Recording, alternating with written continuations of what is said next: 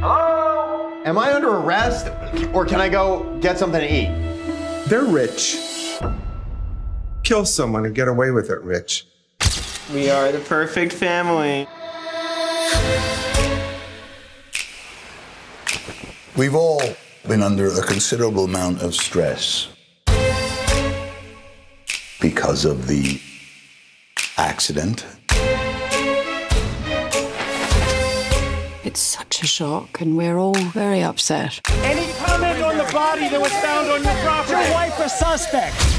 I would have thought our family's contribution to the Nantucket Fund would afford us a little more discretion.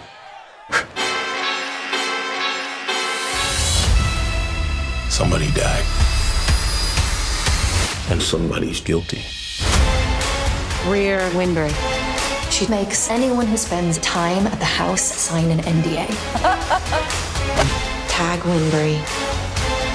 Dilf. Benji? He's hard to read. And Will. Fucking hate them! Thomas is an idiot. Yes. I take pills from everyone. Is that a crime? Yes.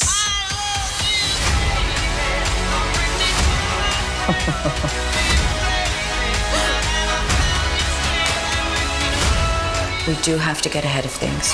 I'm gonna kill her.